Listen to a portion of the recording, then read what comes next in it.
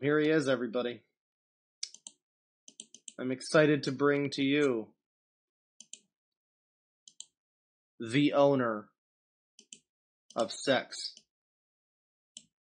There he is. You've all just been renting sex. This is the owner. You've all just been subletting sex.